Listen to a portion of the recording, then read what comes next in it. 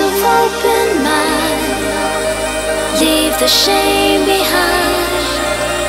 Peace is by your side. Hear the voice inside, and to see you can't be